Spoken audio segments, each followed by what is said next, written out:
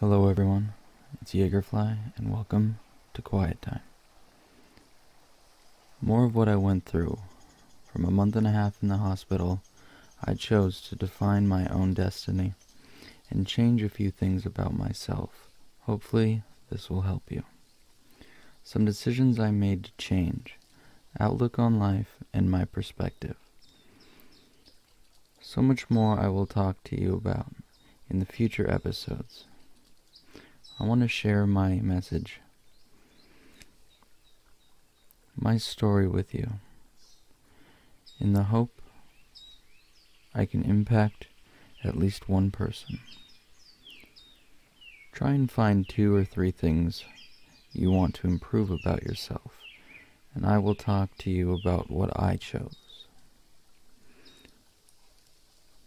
Then, if you have it, choose one Choose one thing you want to remove completely, and I will share how I accomplish that. Let's start with positive affirmations. Keep repeating out loud. I am no longer. I feel. And then fill in the blank like, I am no longer lonely, self conscious, or I am no longer concerned of my appearance, my body, and I will improve. I feel strong. I feel happy. I feel amazing. Everything is energy. Heighten your emotions through positive thoughts. With time, you will adjust your emotions.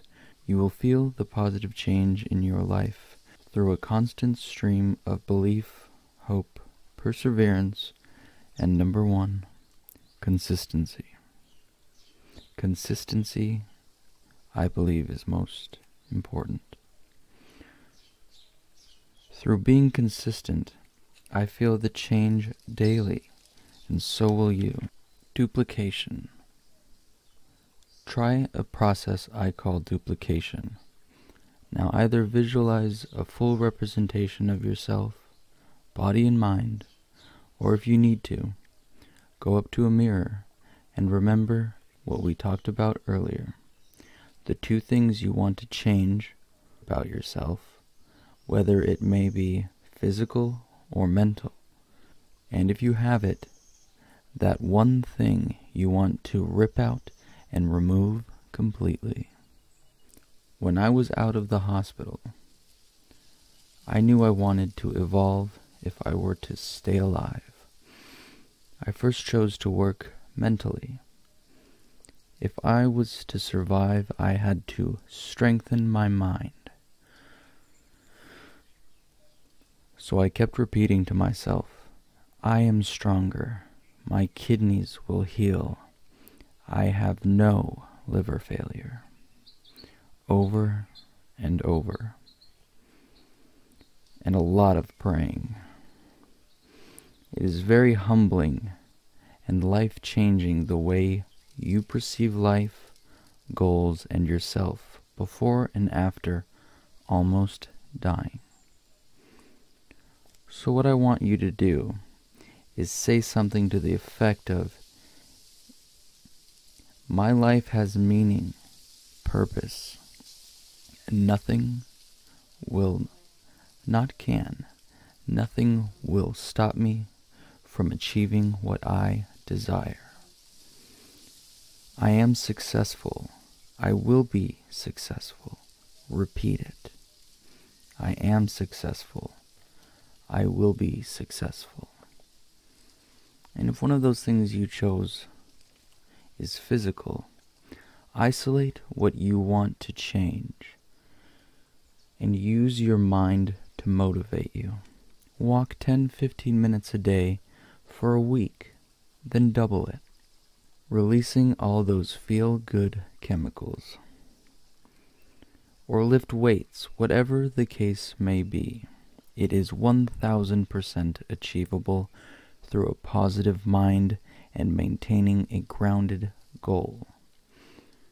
When you have a grounded goal, goal you have set yourself to motivate, it is 1000% achievable through a positive mind and maintaining a grounded goal you have set for yourself to achieve. Not someone else's opinion, yours and yours alone. Remember, this is about your happiness. Now, onto that one thing you want to remove completely. For myself, finally being home, still had dialysis.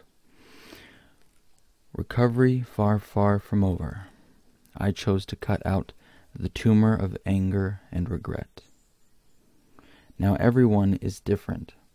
When I was in the hospital in the beginning, angry that my entire family was suffering, angry that this BS was happening to me, and angry that my life did a full 360 backflip and I was 10,000 feet below water.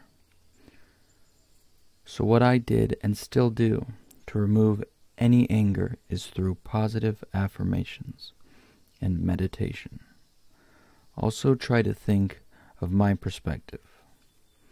When you feel rational or irrational emotions, I am about to get really teed off and angry.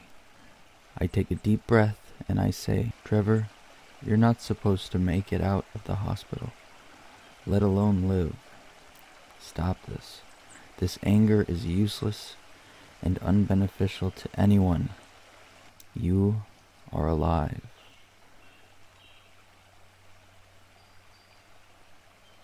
So remind yourself to take a deep breath. Know what you are feeling only harms yourself physically and mentally and hurts those around you. If you are sad, remember a thought that brings you back to joy. Then look at a goal. Pick a goal you want to achieve.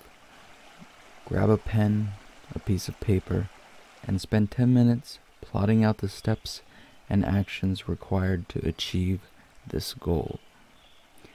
Think of nothing else, and by being positive about your future, your brain will produce serotonin, which duh makes you happy, but also will release the chemical dopamine, which is produced more through motivation and positive habits.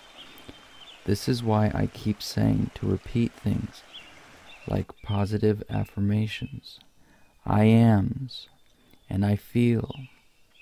Dopamine will motivate you to take action towards your goals, desires, and needs.